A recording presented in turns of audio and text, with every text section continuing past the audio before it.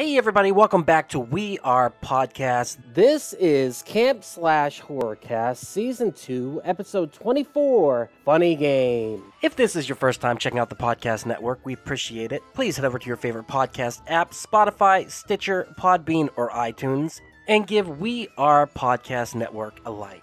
And just a reminder, Camp Slash Horrorcast is a weekly live video cast available on Twitch and YouTube. We go live every Monday at 8 p.m. Central Time at twitch.tv backslash We Are Podcast Network and youtube.com backslash We Are Podcast Network.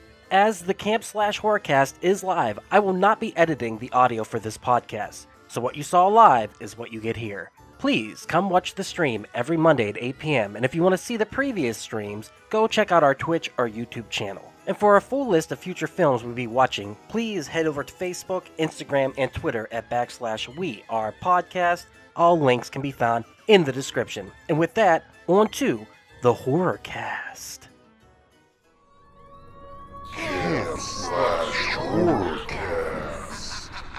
Hey everybody, welcome to Camp Slash Horrorcast, where we talk horror movies from the past every Monday at 8 p.m. Central Time. I'm your head camp counselor, Duck. I'm here with other head camp counselors. We have Jay. So much stress for politeness' sake, McClintock. Jay, how are you doing today, sir? I'm good, man. I am well rested. You want to pull out that lightsaber again and show it off for everyone? Maybe later. beast mode, beast mode. Next, we got David. I mean, what do you think? You think they stand a chance? Jessup, David, how are you, sir? I'm good, sir. Excellent, excellent. And finally, we've got Isaac. Whether by knife or whether by gun, losing your life can sometimes be fun. Dog it. Isaac, how are you, sir? I'm doing good, man. How are you? Doing excellent. Thank you for asking. We watched Funny Games. That's right. 2007, directed by Michael Haneke. I think that's how you say his name. Also written by him. This is a shot by shot remake of his 1997 film of the same name, Funny Games. Release date March 14th, 2008, in the United States, with a running time of 111 minutes. Budget 15 million. Box office 8.2 million. Wah, wah, wah. Synopsis When Anne, husband George, and son Georgie arrive at their holiday home, they are visited by a pair of polite and seemingly pleasant young men. Armed with deceptively sweet smiles and some golf clubs, they proceed to terrorize and torture the tight knit clan, give them until the next day to survive. I will show a tiny bit of the trailer uh, because it pretty much gives away the whole movie. So, with that said, let's check out rated R for fun, funny games. Let's see what we got going on here. Terror, violence, and some language. Yeah, no nudity though. That was funny game.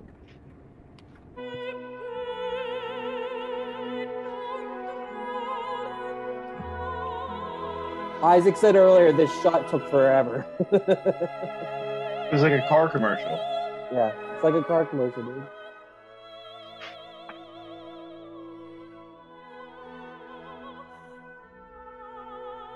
So what's really cool, and we'll get into it, is they recreated the house completely from the original film. So when I say shot by shot, I mean shot by shot. There's someone here. Hello? Sorry to disturb you. I'm staying next door. Please, come in. Wow, that's a really great set of clubs. Mr. Farber. What? You want to call someone? An ambulance? Or, or the police? Why are you doing this? The game See- is simple. Please. I'm Paul. Pick a We're gonna family. make a bet now. You bet. That Making you'll be it sound like a happy at nine o'clock, family and we romp. bet that you'll be dead. Eeny, Is this the music miny, from the original trailer? Tiger by the Yeah, oh yeah, this is the original trailer. Go, Oh my God. Eeny, meeny, miny, Yeah. All right, I think there's enough of that. so that's the trailer, and it basically goes on to tell the entirety of the fucking movie up until the epic gunshot at the end. So, skipping all that, that's what we did. History with the movie. Jay, do you have any history with the movie? Yeah, I was quite the uh, I was quite the the movie snob in my late teens, and uh, hung out with quite a few people that were already in college at the time, and uh, so we we actually watched the original. The original Funny Games back in like Nice. 90, 98, and we all felt very hoity and toity for being so cultured. And then uh, 10 years later, I got back into that scene, watched a few movies like kind of in the same vein of that kind of chaotic, kind of terroristic world. Uh, there's a French movie called Love Me If You Dare. It's a very famous. Uh, it's a very famous movie. It came out, you know, maybe a few years before this. But yeah, and I got to this one again. I was like, yep, they finally did it. They made an American like it's one of the few American movies I think really just kind of holds up because I mean it's literally the exact same movie. It's the exact same movie, shot by shot. There are like minor discrepancies in the shot, but it is next to nothing. Like it's crazy. Uh, how about you, David? What's your history with this? You ever see it before? Uh, I I like Jay was a movie am still am a movie snob. Um, so I saw this on IFC actually, the original, and then um, I watched the uh, remake, um, and uh, I, I, completely pointless remake. Um, mm-hmm. It's it's shot for shot. I I see no there. I mean, it's just it's like why why bother? And they they took it in the shorts, man. One of the uh, movie companies that produced this totally went bankrupt because they lost so much fucking money on this thing. Um, yeah. So yeah, I, I, just I never understood why because I remember watching the American version and being like, "What's is the point? Just because Americans are too lazy to read subtitles? Is that why we're doing this?" Damn right. You know, you know it's yeah. it's just it it was so weird how it was. I mean, it's it's technically amazing that it's shot by shot. Um, but yeah, it's uh, this is not a, this this movie is like for me like uh, Requiem for a Dream. I think it's brilliant, but it's not enjoyable. Yeah. Uh, uh oh, oh, oh, oh, really? Okay, we'll definitely get into that. I'm very interested in hearing your hot take. Hot take. Oh yeah. All right, Isaac, you suggested this movie. You wanted to watch it. What's your history with this? So uh, I am not a movie snob, but I saw this movie once, probably three years ago. Uh, and I was literally drunk and hanging out, and somebody was like, "You ever seen this? Let's watch it." I guess they wanted to ruin my evening, but uh, it did. Uh, I didn't know until recently, until you told me actually that it was a remake. I thought that that was the original film. So the fact that it's a remake, it, I think, is astounding. But also, it's uh, very much like Requiem for a Dream, not enjoyable to watch. You're glad when it's over. We call this a day ruiner is what this is. This is one of those yeah. movies you watch and you're just like oh wow the, the dread and the terror and all that stuff just is a wonderful blend of nightmare juice i like to call it that just kind of ruins your day. Um, yeah so what was the reason that you picked this movie specifically though? Because i'd never seen it so i was excited when you kind of picked it. Uh, is it always stuck with you after that or what is it? Yeah and i'm not really a fan of horror movies in particular uh, I, I thought it was interesting. boo hiss, boo hiss. Well, I don't know. Scared enough of what happens inside all the time. So yes, I, understandably, and don't be afraid, man. We're a horror cast, and we're not going to judge. Don't worry. Uh, it's horror light, but it's it's it's thriller and dread, and it's that wonderful subgenre of uh, home. What is it? Oh, geez, uh, home, invasion. home invasion. Thank you. Yeah. Yes, There's a whole subgenre, sub subgenre of that horror movies. Yeah, whole subgenre of home invasion. This this could be like the granddaddy of them all, you know, because all the ones that because most of the ones came after this. Am I correct, Jay? Uh, no, I would say Last House on the Left is the granddaddy. Oh, yeah. yeah. I I stay. Yeah, you're right. You're right. And for me, Home Alone, comedy wise. Uh, I was thinking there was a remember Full Moon Productions. They had Sunbeam Productions where they made kid friendly movies. They did That's a Home funny. Alone uh, parody film where they had like little robots and stuff. I don't know if you ever saw that, but it, I was thinking about that all day today. It was weird. Anyhow, back to the movie. Let us discuss it. Uh, let's start with David. I'm curious about this not liking it very much. What's going on with that? Um, it's it's okay. Let me let me give you an example. Okay, so over the weekend I watched uh, Ouija: Origin of Terror. First time I've ever seen it loved it. yeah, loved it. Scared the shit out of me, but it was fun. It was a fun, scary movie because it's a Ouija board and it's demonic spirits and it's a girl crawling on the ceiling. It was fun, scary. This is too real. This almost felt like a snuff film, and it's uncomfortable. And the thing, the thing is, the thing that made, makes me mad about it is that when you have an experience like like this, I think you need to have a payoff where one of the good guys wins. You know, there is no nobody wins, man. And and I know that you find out that this is actually just a play on violence in media and he's just watching a game and he can rewind it and it's not real. But at the same time, though, you it's like the director puts the audience through this ringer, but yet you don't get the payoff of getting revenge on these fucking assholes. By the way, I'm a huge fan of Michael Pitt. Love Michael Pitt, and I and I love Naomi Watts and uh, the lead guy. Well, I forget his name. Tim Roth. Yeah, Tim Roth. Um, lo- I mean, the actors are great. It- It's. I mean, it's a. It's a fantastic movie. I'm not saying it's a bad movie. I'm just saying I don't like it. It's not enjoyable. I think Sounds like it's doing its job though. If you Yeah, don't like it, Yeah. Um. Oh, yeah. I. I listen. If the director made this movie for people to enjoy, then he's fucking twisted. You know. So yeah, he he definitely did his job, and he's holding up a mirror to the uh, violence in media. But as a as a viewer, this is just not a fun experience. This is No, I'd be really not. concerned if somebody was like, "This is my favorite movie. I oh, watch Oh, it that's- every night before I go that's to bed. what- I gotta watch Funny Games." I was when when we watched this, I was like, "What sick motherfucking psycho picked this movie?" Because I was when you and when you said you did, I was really worried that you'd be like, "Yeah, man, my friend, we we had a party and we put this on and we we all got our dicks hard, so we were like, let's jerk each other off. Man, this movie is fucking hot." And then we had just had this raging orgy because everyone was turned on. You guys like to fuck when you watch this movie? Is that no, no? So I'm glad I'm glad that you also don't find it um, enjoyable.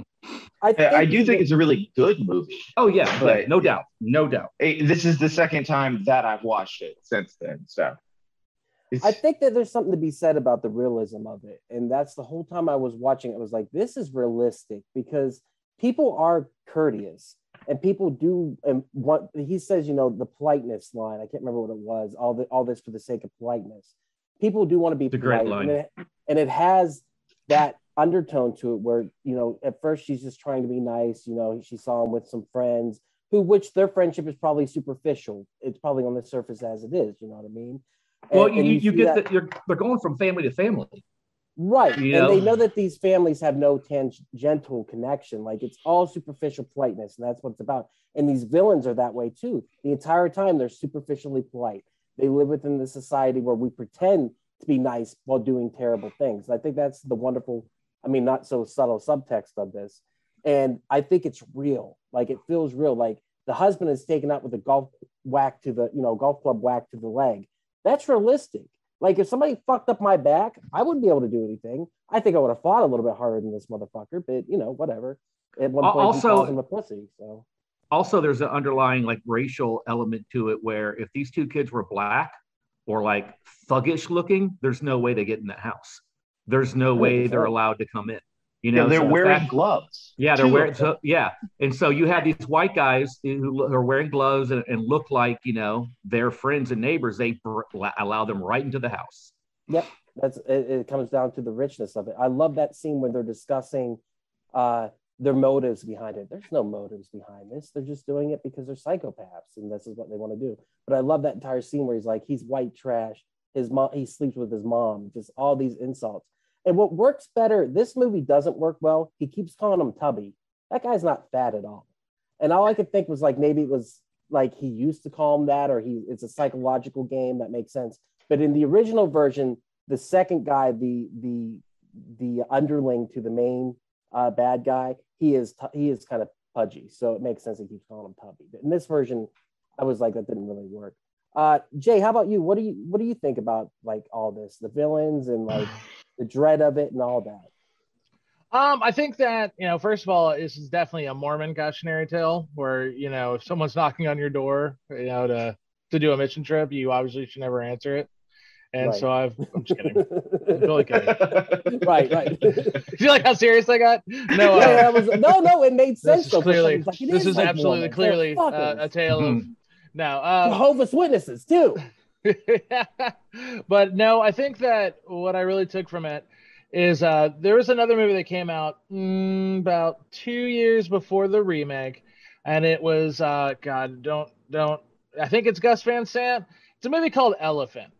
Oh yeah, we the just talked about elephant. We just talked about elephant the other day on the So VR if you- podcast live. If you so, one of the things that, that uh, to to tan- to kind of veer off of this movie, uh, Elephant is was a very deliberate filmmaking style in the way that um, the actors chosen uh, were were not, Not actors. uh, were not actors. They were Yeah. very much very green, and so he really wanted to kind of capture the the essence of the like, real teenager. the real teenager. Uh, you know, and it's just yeah. So it was Gus Van Sant, but anyway, uh, it's basically a retelling of the story of Columbine. And uh, as someone who is, you know, I was 18 years old. I was in high school when Columbine happened on 420, 1999. And there's this certain feeling because I saw the original movie a year before Columbine happened. And so nine years after that, I watch, or, you know, 10 years after that, I watch this movie. And I see a lot of those same sensibilities and a lot of those same kind of motives uh, from the killers of Columbine. This movie is terrifying. This movie is absolutely terrifying. And, you know, we'll get to the climax at the end, but I think that, um, I think that in a lot of ways, like this, this movie, it, it's gonna shake you if, if you're, especially if you're in the right light, it's gonna shake you. It's gonna stick with you. And uh, yeah, that's that's basically my uh, my take on it. What one of my one of my biggest fears is not protecting my family. Um, you know, I have a wife and I have two dogs. I don't have kids, but it is it is a fear, the fear of the home invasion, and Right. it, it's something that always freaks me out. I have a loaded gun in my house. Um, we have cameras and an alarm set up. We've never had an issue, but I just don't want to be ever be in a situation like this movie. You know, Absolutely. And it makes you realize how easy it is by So using easy. a household object to turn the tide and how much we trust on a polite level the people around us. And that's the thing is the news, I know it's an allegory for the news and, and media and, and violence, but the news is polite and it gives you terrible uh, information in a polite, you know, manner. And that's what it comes down to. And we as people, we act like We give people the best of us, or at least for the most part, we try to. I don't think any of us in this cast alone gives anyone the bad side of them. We always try to give the good side, right? no, I, I So- fuck everybody. I- All right, fuck everyone. uh, but I- it's so crazy how quickly, like I saw at work the other night, there was a knife sitting on the, you know, in the dish pit, and I was like, you know what? Some motherfucker could just pick that up and start stabbing people. And like, how crazy would that be? But we have dangerous objects around us like that all the time. And what if somebody was a psychopath and decided to use that against you, especially whenever they come across in a polite manner? It just scares me. Isaac, I want to talk to you about like the sense of dread and horror that you got from this movie. You, you said you don't like horror movies so much, but this one stuck with you. What was it about that? Like when you watched it, you know, hanging out with your friend, that were you guys just like, holy fuck, this is crazy, or what was it? Well, this is the realism of it. Like immediately, like the man who you, it, you know, as you're watching it and you're realizing it's getting worse and worse, you're like, oh well, Dad's about to come in and it'll be fine, and they just nerf the character immediately. Right. So now Uh, he what doesn't is have- what is ner- what does Nerf mean for the oldies Kill. in the room? kill like a video Take game him kill shot. Yeah, yeah, yeah, yeah. Like yeah, it's a dude, video to game take all the power away from. Okay, like, just for like the now J in instead the of having room. real Then? bullets, bullets. okay, singled out. Okay. McCarthy. Uh, but So, but but yeah, yeah, so from then on, like he's in this terrible situation, and yeah, they're younger and stronger than him. There's two of them, and he is broken now. And th- th- there's not really anything he can do. Like it, you you can argue that he should have fought harder or whatever, but it would have just hastened the inevitable of the film. Which Well, and- you know how it's going to end basically from when it starts, which is why I imagine the trailer gives away the entire thing. Also, I agree with the, this movie, um, the way he dismisses his wife when they first come in, because when he first comes in and sees him, she's freaking the fuck out, yeah. and he immediately takes their side. He's yeah, "Oh, he's like, honey, why are you being so why? rude yeah, to them wrong? right now? Yeah, honey, look at them. They're white and they're wearing gloves. Why are you so? Yeah, it's so, and it's like, dude, motherfucker. That's why, in a way, when I when I saw this, I was like, good. When they capped him, I was like, good, motherfucker. You didn't protect your family. Yeah. Uh, you know, and Isaac brought up a good point about them being younger and stronger than him. You know, he tries to make a stand, he slaps him, and then they take him out. And I was thinking that as I was watching that too, like these guys are like, as I get older, the more and more I think, like, man, some of these kids could fucking take me on. Like, I'm not much of a fighter anyhow, but Jesus. Christ. Also, uh, like coming from the perspective of uh, like thinking of like he's an older guy and considering that, why are you gonna slap them? Like if you feel the need to take it to physical violence, make it like real violent. because it's polite society. That's his polite society. Ah. The little pshaw, pshaw. You know what I mean? That's what it comes down to. Is it just reinforces this idea that politeness and for politeness sake, once again, it's just weird. They live in this world where, you know, they have to put their best foot forward all the time. So even when a stranger enters their house and their things are going not well, they're still trying to be polite the entire time. And it's like I said, the villains are wonderful because they use that against them. They're so pshaw and and border school and all that boarding school, I mean, and all that stuff. And it's just great to see. Um, I want to talk about uh, the fourth wall breaking. The first time it happens is whenever she's going to find the dog and he's playing the hot cold game. And I thought the games were going to ramp up like that. I was kind of okay with the fact that they didn't. I thought they were going to start with a small game and then ramp it up, ramp it up. They kind of do, but not, it's never like illuminated so much. But like he looked at, he turned and he looked at the camera and he looked away. And I was like, did he just break the fourth wall? What the fuck just happened? And that was shocking. And me and Jay were kind of talking about that the other day. This movie is known for that, right? Isn't that kind of like what it makes it? Well, once you once you see it, once you see it, you can't unsee it. You can only you know you only get the genie out of the lamp once. So anyone who saw the original will be like, okay, yeah, this isn't shocking at all. Right. Uh, so yeah, And in the original, he turns to the camera and he winks in the original. He doesn't do that in this version, but in the original he did. Uh, but yeah, it's it's fucking crazy though. And when he they're having the conversation about making the bet, and he turns to the screen and he's like, "I bet you're on their side, aren't you?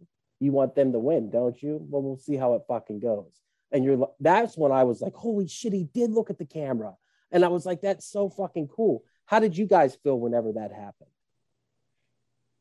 I mean, yeah, I thought. I mean, it's it's one of those things where you, like I said, you then realize this isn't real, and but it doesn't make it less horrifying, you know, and it doesn't make it less frustrating, knowing that makes- he he rewinds it and uh, okay, this isn't real.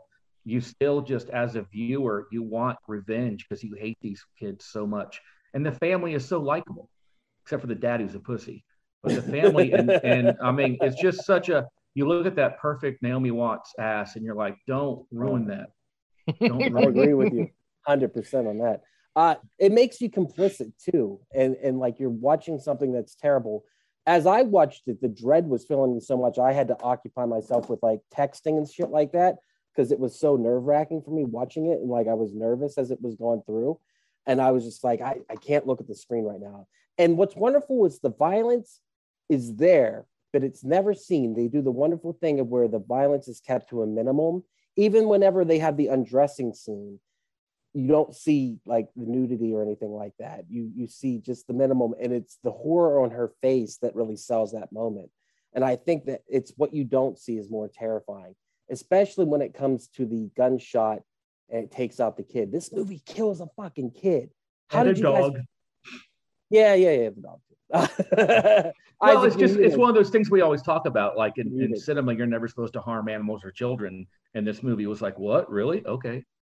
Uh, how Boom. did the dog look so fucking real as it flopped out of the truck? when it plopped out, dude, and it rolled, I thought the same thing. That thing looked fucking real. Even in the original, it looked really real too. How did they do that? they used real dogs. Mystery Oh, God, those, those bastards. Um, how about you, Isaac? When uh, like the whenever they killed the kid, all three of you guys, in that moment, did you expect that to happen and be so visceral? I No. knew that it was going to happen when I watched it again, and I still convinced myself uh, the second time that it was the dad that was dead. Yeah. I knew that it wasn't, and still I was just like, "There's no, no, they're not doing that." Yeah. I mean, it goes against, like David said, the, the horror movie or in movies in general, you don't attack children, you don't attack the elderly, and you don't attack animals. You know what I mean? This movie does two of the three. Well, I Um, mean, and it's it's why why they can't be surprised that they spent 15 million dollars on this movie and didn't make any money back. It Oh, is, yeah, it no- not enjoyable. it breaks all the rules. This is not a fun movie. This isn't a movie you go see and you tell your friends at work around the water cooler. Hey Jim, how about that Cowboys game? Yeah, my wife and I just saw this movie called Funny Games. They kill a dog and a child. You should go check it out, man. Oh, by the way, spoiler like alert. us. Spoiler alert: the the psychopaths get away with it, man. You should go check it out. It's a lot of fun. and like I said, unless you're freaks like us, this is what we talk about all the time. It's Dude, this is this is not a movie I recommend to people. I do Oh, not. well- Yeah, I do not recommend. Sorry, I don't We'll mean to.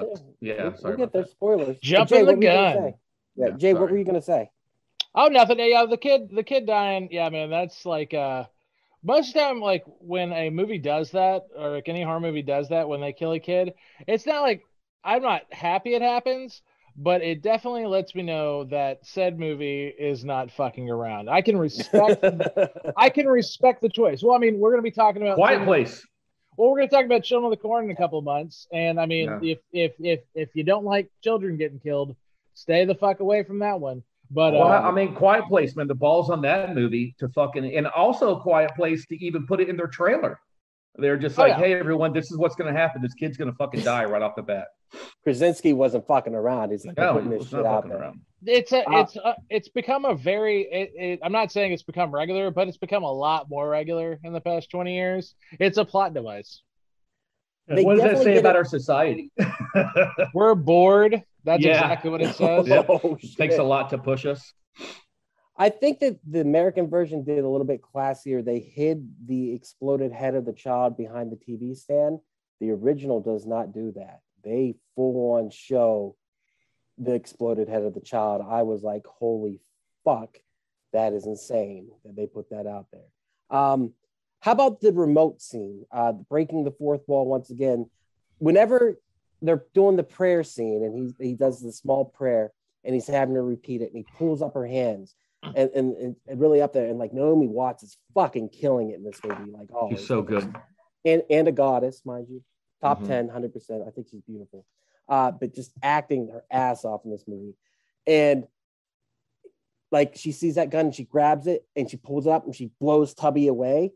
I I literally went, yeah! I screamed at the TV, like I was so excited. How about you guys? Were you were, for that one moment of victory? How did you guys feel about that? Well, like when I watched the original, it was it was like a relief, and then he when he rewound it, I was like, God damn it!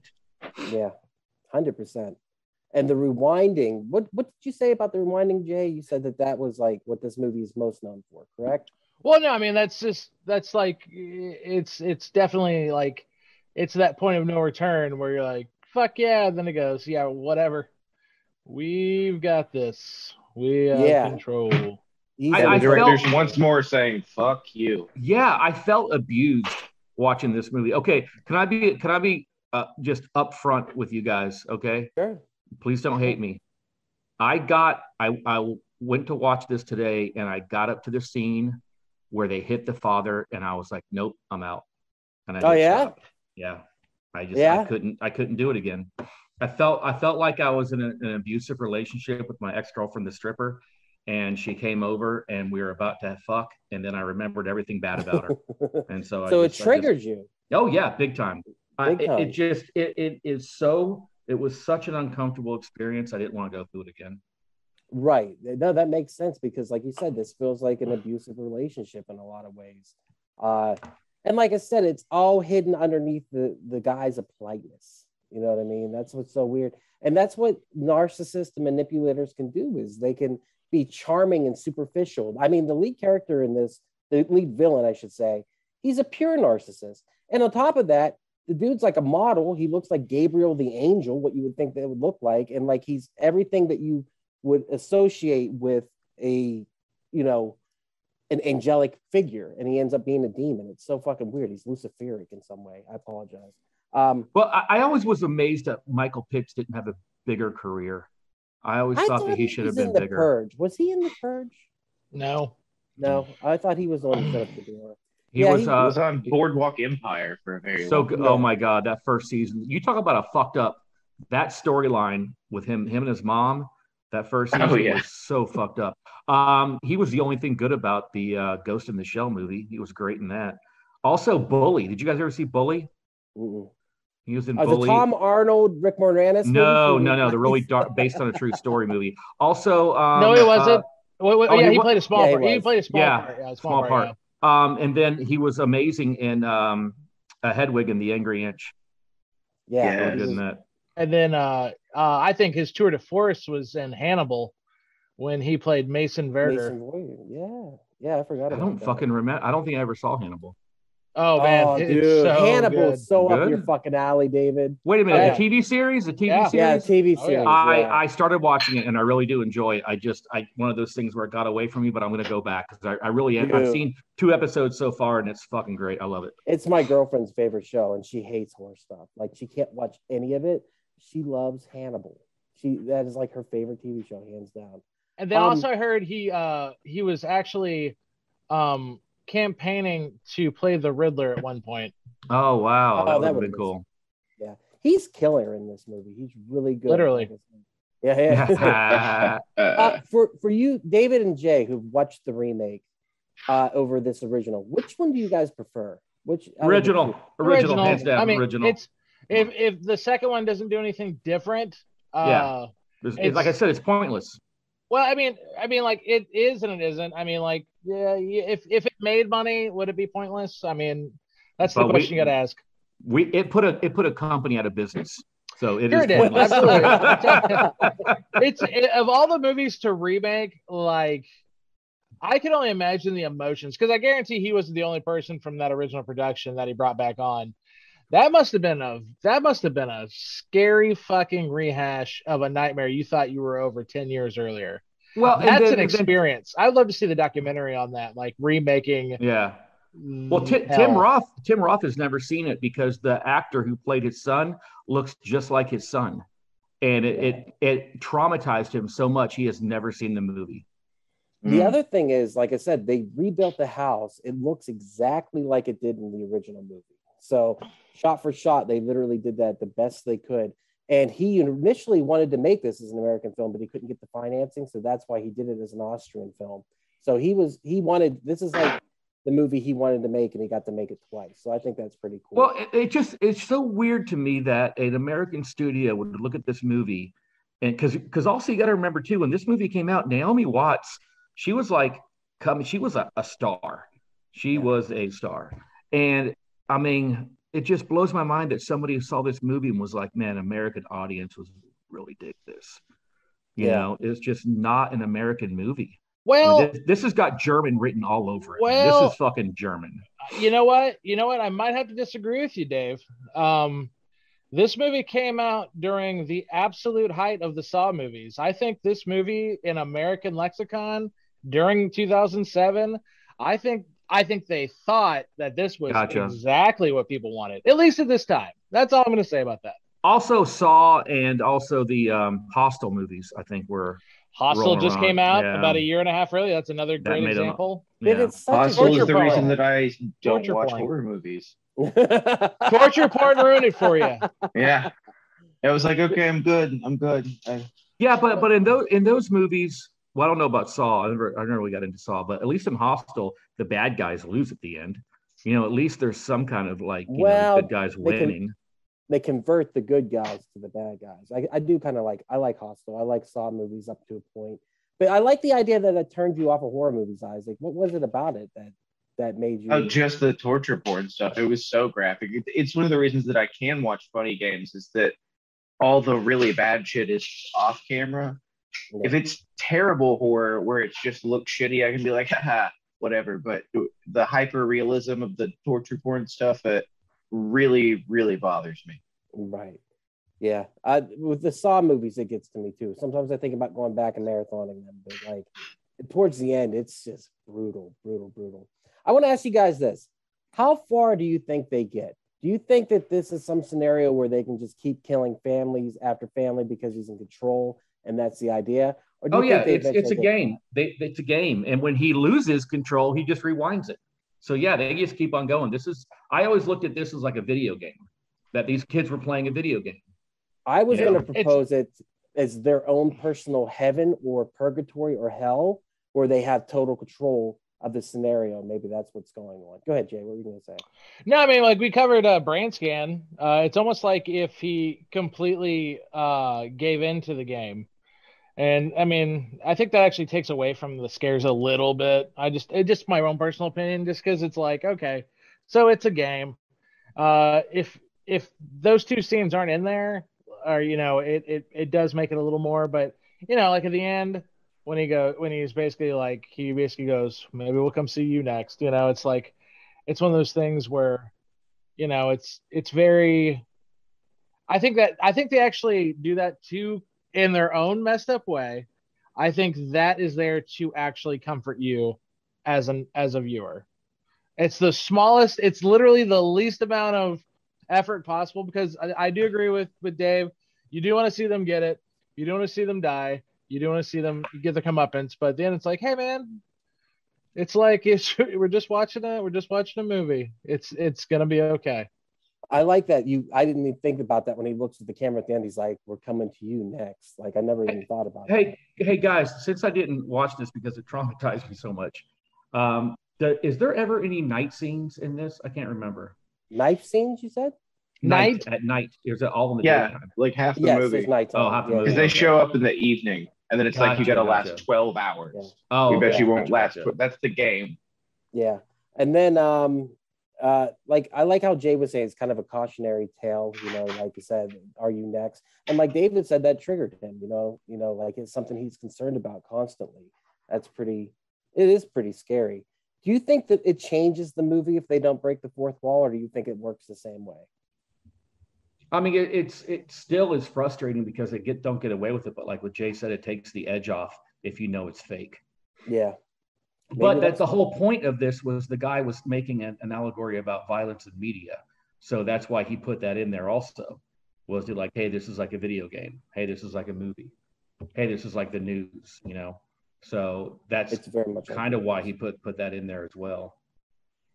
Uh, the last thing I want to talk about is, like you said, the ending where no one wins. Ciao, Bella, wherever he knocks her over into the, uh, the river, and they just go on talking like they were talking the whole time. And they've been doing that the entire movie, where they're kind of disinterested in their victim, which is even more unsettling. It could have been anyone; it just happened to be their house that they go into. Uh, at the end of it, like, how do we feel about this movie as a whole? Really comes down to that you know what what these killers stand for i don't know what they stand for other than just pure violence and psychopaths and and like jay made the the connection to columbine you know eric and dylan what what do they stand for at the end of the day i don't know uh and i guess that's why it's so unsettling how do you guys feel about the end of the movie i was glad it was over I was like, well, this nightmare is done. And that's what was weird. I don't know why I watched the I think I watched the remake because of Naomi Watts. I think I was like, oh, this is gonna be uncomfortable. I do like her. And also I knew how it would end, so I was preparing myself. But man, today it was just rough. yeah This is just this is just a like I said, man, I- yeah, it's I think it's a brilliant movie. I really do, but I think it's for me, it's so unenjoyable. it's a day ruiner i i was happy i had improv classes after it because i was just like yay it's great maybe that's why i was so tired the other night jay i was like i'm so tired maybe this movie took it out of me how about you uh, isaac how do you feel about the ending of this movie I, I mean, the ending is the worst part because you think that you're gonna get some relief the whole time. Like, again, this is only my second time seeing it. I've never seen the original, so I still almost expected, like, ah, maybe I forgot the part where it doesn't end quite so terribly. Uh, it reminds me of a movie that I saw that was loosely based on Casey Anthony, I think, uh, called Baby Blues where basically uh, the dad's a truck driver and the mom is losing her mind and thinks he's cheating on her and decides to kill all the kids. And the oldest one it's like a night in hell where he, he's being chased by her through the farmhouse. And uh, basically at the end of the movie you think he's gotten away and dad's like oh no she's coming home. She cares about us. And i'm like are you fucking kidding? Like nothing from this. But stories like that tend to stick with me But that's what the, these characters, what do, these villains, what do they get from that? Nothing. They've gotten not, this is just another family. They're just moving on. They're just moving on. They'll never. There's no lesson to be learned here. There's They're leveling up. hundred percent. On to the next one. On to the next one. On to the next one. Jay, how do you feel about the ending of this movie? I feel like this Well- is depressing cast. I'm sorry, guys. well, I mean, uh, it's it's well, it's a depressing movie. You know, we need. I mean, like let's let's be real. We I, I know I brought this up before, but you know, this is a this is a horror this is a horror podcast. Mm-hmm. And one of the things about being a horror podcast is that we're not supposed to enjoy all these movies. If we did, we wouldn't even. I think if we did enjoy all these movies, we wouldn't enjoy all these movies. If that makes sense, it's just like in life, you got to find things that that that kind of piss you off a little bit. There's movies every now and then where you go, no, no, that's not how it's supposed to end. I think another movie I would compare to this would be uh, Arlington Road, uh, with Jeff Bridges and uh, and and uh, oh God, Mr. Susan Sarandon. What's the guy? Tim. Tim. What, is that is that movie about a bomber? Yeah. Yeah, and I remember at that. the end of the at the end of the movie, the bomber, the oh, spoiler, bomber wins. Uh, the the hero dies, and the bomber keeps on bombing. And that was also uh, that also came out around the turn of the century too. So it's just yeah, these movies that that don't give you give you all, all the things you want. It's It- it's they have a interesting place. because They have their you say that, and it's like I really, really, really did not enjoy this movie. But another movie that has one of the most depressing endings of all time, I absolutely love, and that's Seven. Um, and I think it's because in that world, I don't see myself in that world. I can see myself in funny games. I can see myself, me and Lindsay being at home and someone doing a home invasion. I think that's the difference is I can watch Seven and enjoy it as a escapism, even though the ending is brutal. The, the basically the bad guy gets away with it in that one. He completes his mission of but he still dies. so- he still dies, but he but that's what he but he wants to die though. That's the thing. It's not like he didn't want to die. He wanted uh some or uh, uh, David to kill him. Um, so he wins in getting what he wants. Even Somerset tells him, if you shoot him, he wins. So, but in that movie, it's more of escapism uh, because I don't see myself ever being in a situation where I'm living in a in a uh, weird city where all these weird murders are happening. By the way, I think I came to a realization that at some point in my life, I have uh, committed at least one deadly sin at some point in my life, every single not and some at the same time. So Yes, I have too. Uh, I was going to say what I like about uh, this is the bad guy is so manipulative. He is literally manipulating the audience as the movie goes along, and I think that's really cool with breaking the fourth wall and everything. Like how he's saying, like, you know, do you do, you think they're going to win? Are you betting on them? And then whenever he says later, like, do you want a good story with a, a protagonist who's victorious or whatever he says, uh, and he's just like, that's maybe not what you're going to get, and that's what we don't get, you know. Oh, he's definitely torturing the audience for sure. Yeah, it's crazy. It's such a cool concept. Guys, is there anything else about the movie that you want to talk about? Or are we ready to move on? All I'm we're still moving on. curious as to why uh, that kid took off his pants when he was hiding from him. because he shit I his get the boots. I get the boots. Why'd he take off his pants? He shit his pants. Do you remember? Oh, really? Yeah, yeah, yeah. All he right. shit his Well, I'm sorry I brought this up. Uh, Okay, yeah. a point counterpoint. yes, done, done. All right. Anything else about the movie? Anything at all? Na- Naomi Watts has an amazing ass. That's I guess she's that's, that's perfect. Naomi Not within for the- for the. Not within the context of this movie, but yes, she does. Uh, all right, recommend. Jay, do you recommend the movie? Or original, vers- original versus remake too. You can recommend. I you, either, either one. I mean, they're just uh, if you think that you can handle the subject material, then yeah, go for it. That's All what right. I'd say. Da- David, do you recommend it? No, I, I don't. I don't want to have anyone in my life that I would think would enjoy this movie. So no, I don't want to recommend this because I think to recommend it to somebody, they would have to enjoy it, and if they enjoyed it, they would scare the fuck out of me. And it takes a lot to scare me. I have mannequins in my house. Isaac, do you recommend the movie? Uh, I would recommend it to somebody that Ah. I liked but didn't want to have a good evening. Like you've been talking a little shit. Like I'm not too mad. We can still be friends. But like, check this out this evening, buddy. oh my Yeah. god. Hundred percent. I recommend it, David. I'm going to scare you. I liked it. Oh my god. I'm so sorry. I thought it was a good movie. It's not Oh, something you it's, see dude, it's a every day. great movie. I, I, like I said, it's a great movie. It's just not enjoyable for me. Oh, no. It's pure. Yes, thank you. Pure. Let me turn to the camera and say it. Thank you. Uh, pure dread. Pure. Uh, just pure nightmare fuel. And like I said, just because it's so real and visceral, and like it takes so little to take, you know, the the dad out. It's a golf club swing. That's real. That is real. The fact that he can't do anything and he can't. Oh God, it's just so fucking real. Anyhow, with that said, I recommend it. Let us move on to clips. Dave, are you going to be able to handle these? Yeah, I'll. I have a safe space. I'll go to Okay. it if I need to.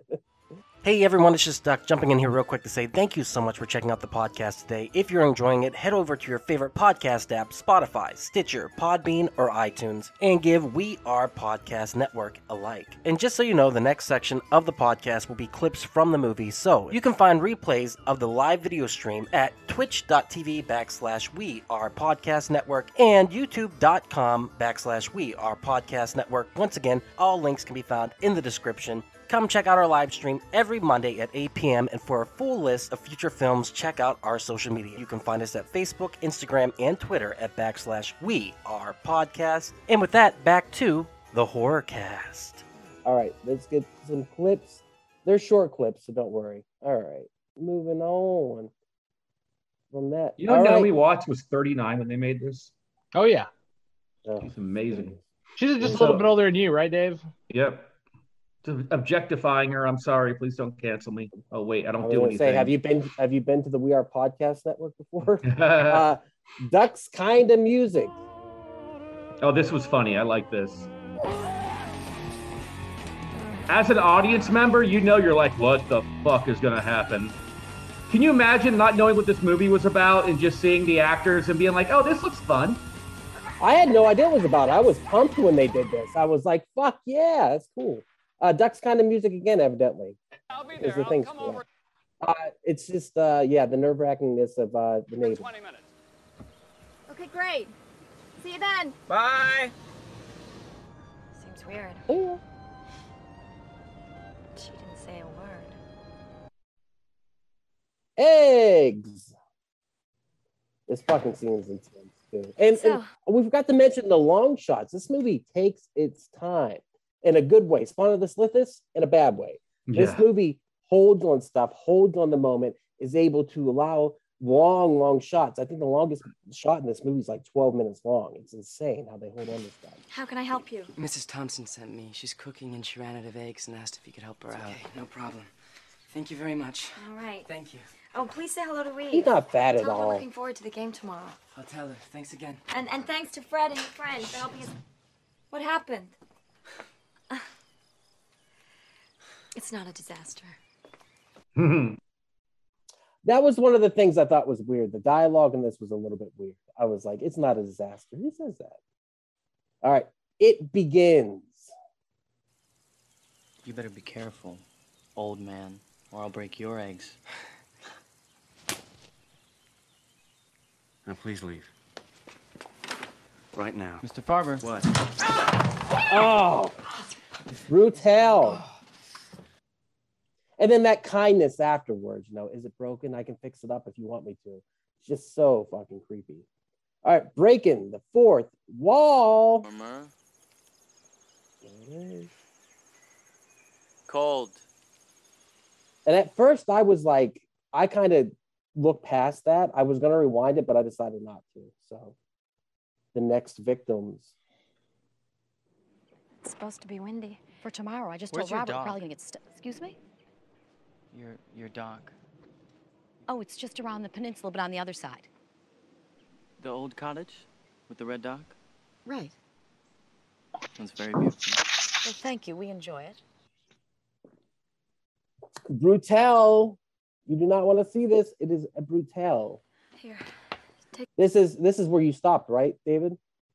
Yeah. I think so. Yeah, yeah. So you know, we can skip it. What's if this want. now? What happened to you? It's just What? Didn't we just agree that? Ah, I mean, we'll skip it. Move on to the next. What the fuck? I would. I don't want to trigger David more. White trash. Truth is, he's fucking her. Sad, but it's Do you think there's any truth behind this story that he's Yes. telling? You think so? Because Yeah, I like I don't. he's. You don't think? You think it's all play? Yeah, I mean, it, the whole thing is- immediately after he's like, "Oh, and we're drug addicts. We're both drug addicts." Eh, like he he's so convincing all the time, but when he's doing this, it sounds like bullshit. All right. Like he's doing bad acting on purpose. Yeah.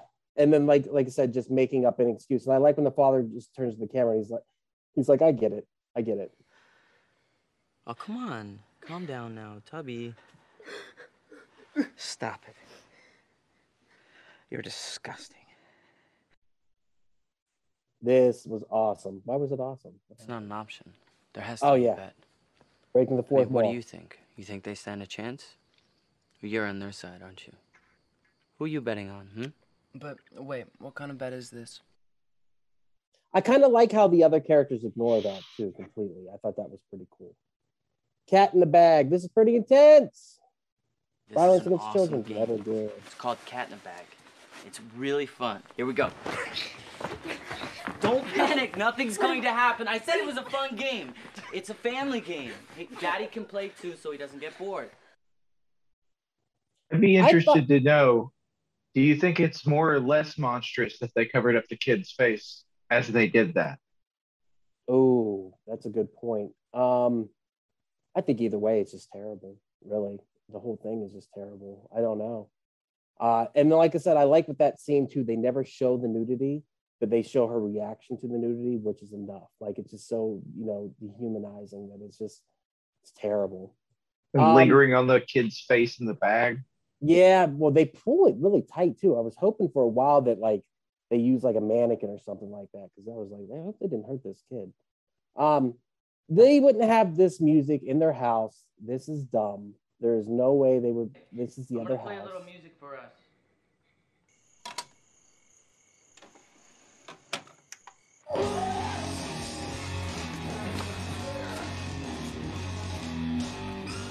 They wouldn't have that. That's stupid. Georgie's got a gun.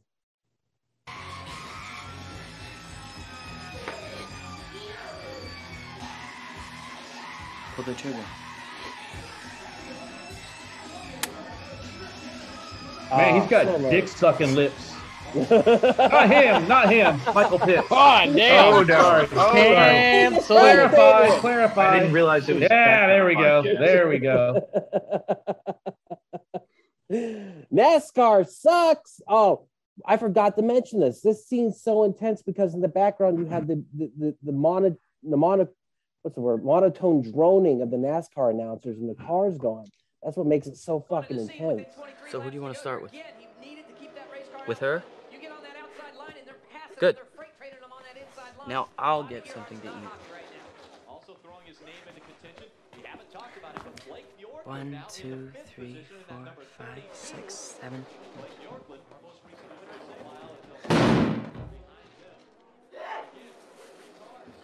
Mm. It's intense. Idiot, Tubby. When you're counting, you don't kill the person who's counted out. You kill the one left over. What's wrong with you? You try to run away. Yeah, so what? That's no reason to get trigger happy. Don't you have any sense of timing? Can you imagine being Juan Montoya, the driver, and being like, "What the fuck? Why? Why the hell am I in this movie? Why oh How have I got kids' happen? brains all over my picture?" So that scene where she's struggling to get up, there is no way she didn't hurt herself during that. oh yeah. There's a Yeah, couple of knocks where I was just like, oh shit. Yeah. She was dedicated, like I said. Like she, she kills it in every movie she's in. So, Uh, the funny name of the game is The Loving Wife. Now, although Beavis has already finished counting, Anne can decide who's up next and with which device. Hello? Wake up! What? You're not interested? You don't want to play anymore? Beavis, show her how the game is played. Wait, here. Watch out. I almost cut myself. Really? So intense. Just watching it back right now. So intense. Right here, right here. She kills it. Come on, sit down, sit down, sit down. That had to have been improvised. Had to have been. Was that in the original? Do you guys remember? I don't No. remember. I Remember? could die. Oh, I apologize. Everyone's so bummed out. Tubby, I'm so sorry, guys. Tell her one. Stop calling me Tubby all the time. Okay, fine. Call me, call me unibrow, okay? I'm a unibrow, not. I noticed that too. I was like, what the fuck? Shave that fucking thing, man. What are you, a, love you Gallagher guys. Brother and Oasis? You're the bass player for Oasis. Oasis is a 90s short. pop band. I don't know any others. Like, Wait, with with big with big Isaac? with big fucking uh with big fucking eyebrows. Fuck And big yeah, this part was awesome. Everyone get a little the relief right now. almost painless big gun, or the slow, drawn out. Boom, baby. Look out! Yes! The remote scene. Almost immediately after that one. Not sure why it's kind of second. Where's the, where's the remote control? Notice he doesn't hit rewind on the remote. Fucking too. remote control. Yeah, he hits the volume think- down. I think. Yeah, I think that's what it is.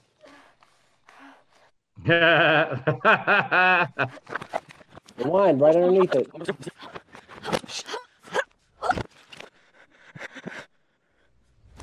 Uh, don't take it back. Oh, lame. Lame. So lame. All right, we're skipping to the end. There it is.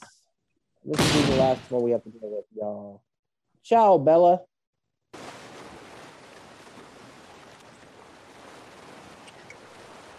Ciao, Bella. Why? The deadline was Boom. nine. She had almost another hour. Well, it's too difficult to say I like this. First of all. Second of all, I'm getting kind of hungry.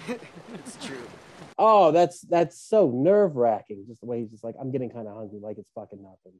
So, with that said, we made it through clips downer of a movie. Still appreciate the recommendation, Isaac. Uh, I'm going to recommend a couple movies here real quick and see if you guys agree. The first one will be a movie called Cheap Thrills. This came out a couple years ago. It is awesome. It has uh uh shoot, what's his name? The guy from uh Anchorman who plays uh the weather guy. Who is what is his name? Or the sports guy, champ. I cannot think of his name. Uh David Koechner. Thank you so much. I appreciate it. This movie is fucking awesome. I watched it over at Jake's house. We had a blast. It's about this guy right here, uh, David Koechner's character, who has tons of money and he sets up dares throughout the night for two friends that haven't seen each other since high school. The two characters right there that you saw. And everything elevates and elevates and elevates and elevates. It's hilarious. It's scary. It's just downright good movie. Highly, uh, highly suggested. Check it out. Lots of ass in this trailer too. Jesus Christ. Uh, Cheap Thrills. Awesome movie. 100% so good. Next one I'm going in to. Next movie I'm going to recommend is The Purge. Of course, everyone's seen The Purge, right? The first one, classic modern horror film about home invasion. Totally scary. Love everything about it. Uh, the premise is so good. It's had five sequels now, I think. We just had another one come out, but the original is the one that holds up the most, I feel. And it's just a great movie. Plus, I love the creepy little robot the kid has in the movie. I figure David, you'd be on on board with that. Oh, I, Have you seen- I I love the first Purge. yeah. Other than that, a little bit played out now. Some of the sequels did some interesting stuff, but for the most part, that's where we're at. Uh, admit you, you fucking fuck. Uh, Javi wants him to join us for the end of the cast. So he is coming in right now.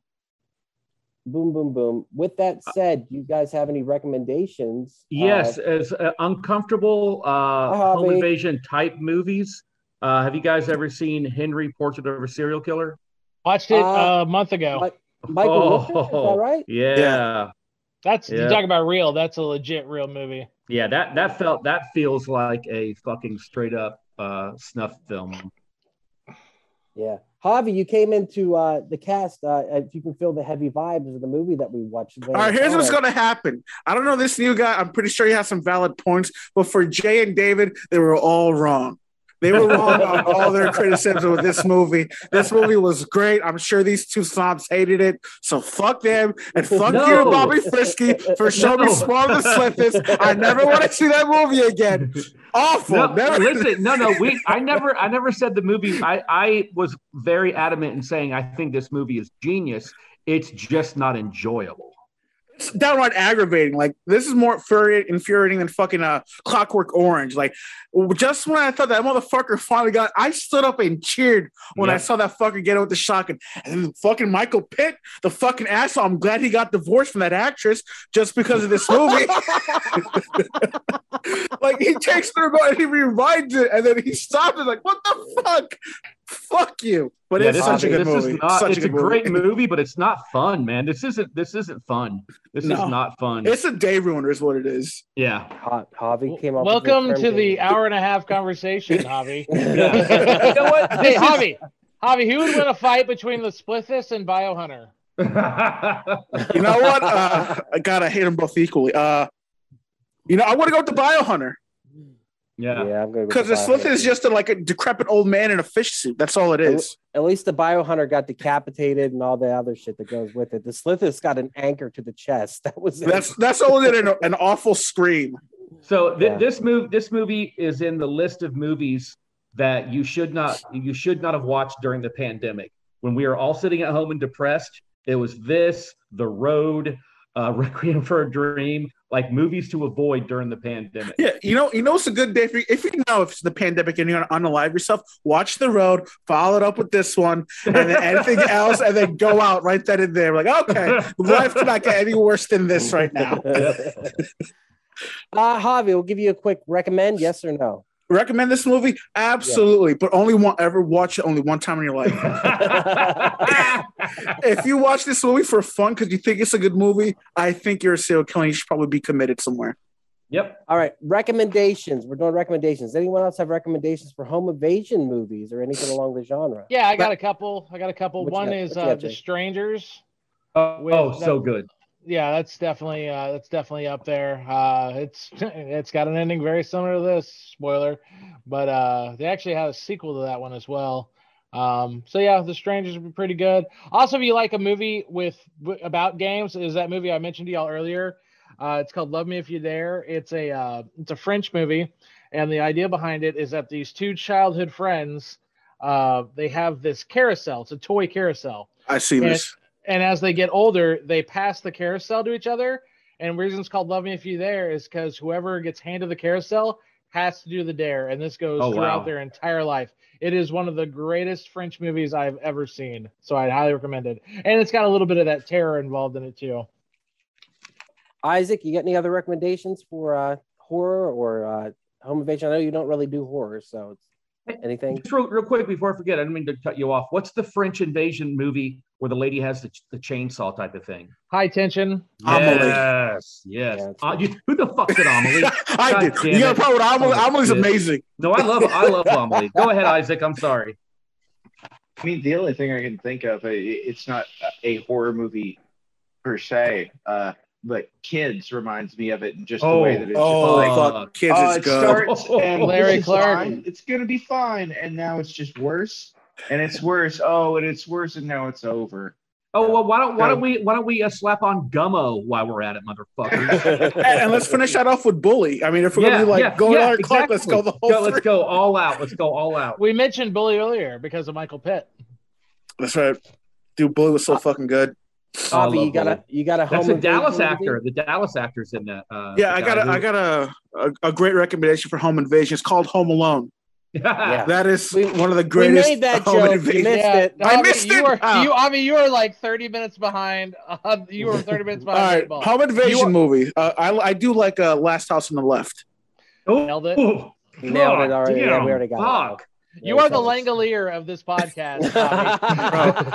You are chopping up the past as we speak. I'm not. No, I'm not trying to offend. But if you listen back, you will be like, "Yeah, and here's another thing." And like you'll be like, "Well, this sucked." Well, you should have just joined us. Yeah. Yeah. I just finished early. Ah, shit.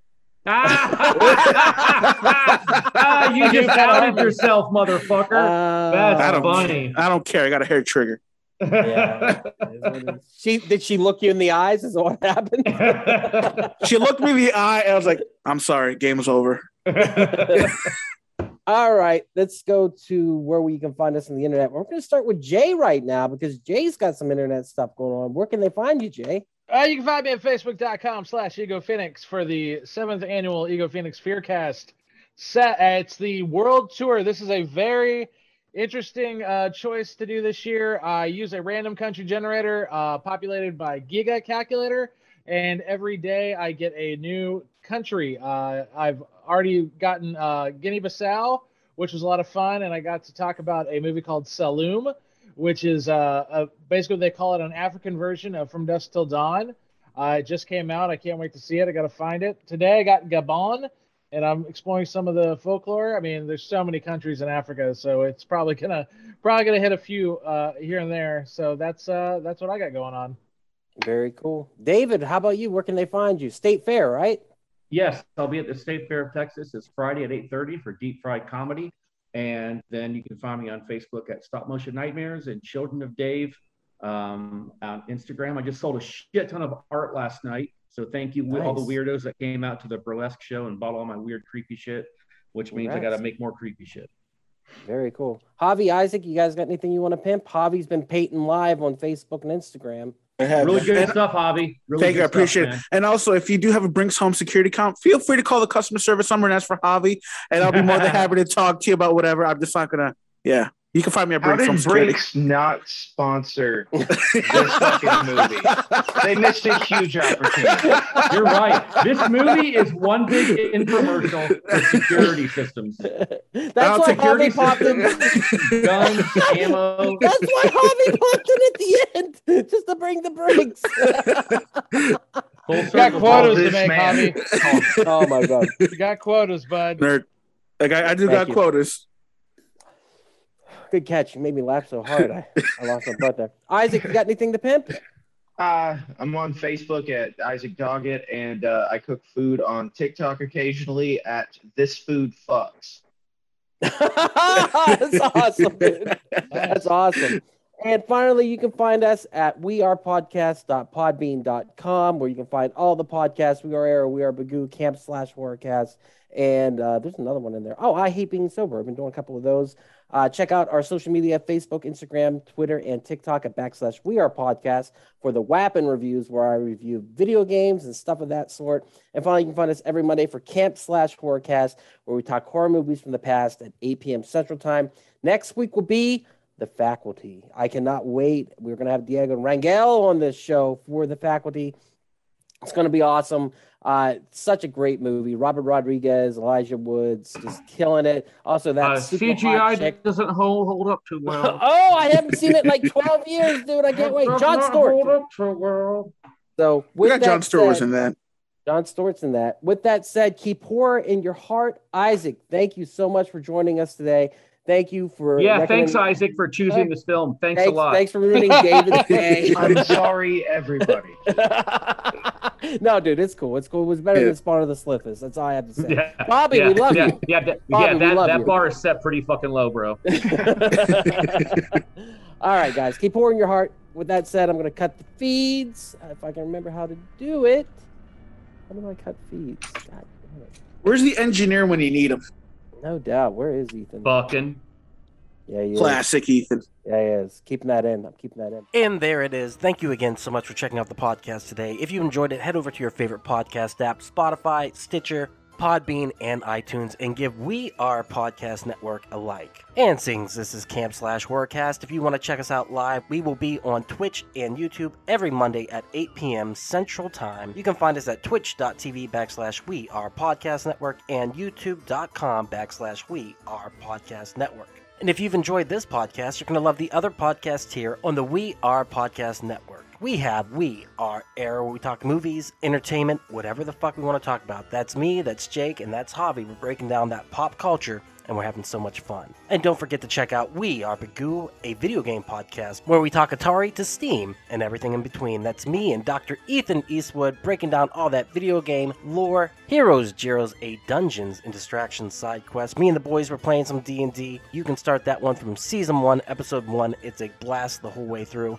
And I hate being sober. Personal stories from epic people. I sit down with some of my favorite people of all time. We talk about their trials, their tribulations, and their journey this far. Also, check the links in the description for our social media. You can find us at Facebook, Instagram, and Twitter at backslash we are podcast network. With that said, hopefully we see you in the live stream.